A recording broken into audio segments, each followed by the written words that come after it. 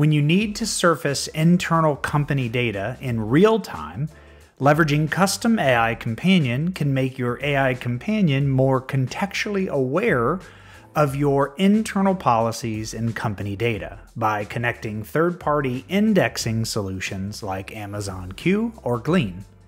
Then users will be able to ask questions and surface internal data. To set up Amazon Q and Zoom to work together with Custom AI Companion, administrators can select Advanced tab and then choose the App Marketplace. Search for Amazon Q and select Add. You'll need to configure Amazon Q and Zoom to work together.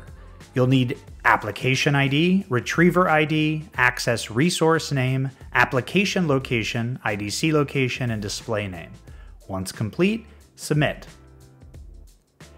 To manage, select Manage and Added Apps to confirm that the Amazon Q connection has been established. Back in the administrator portal, admins can select Knowledge, and inside of the knowledge collection, verify that the Amazon Q connection has been established and published, and it's shared with the correct user group.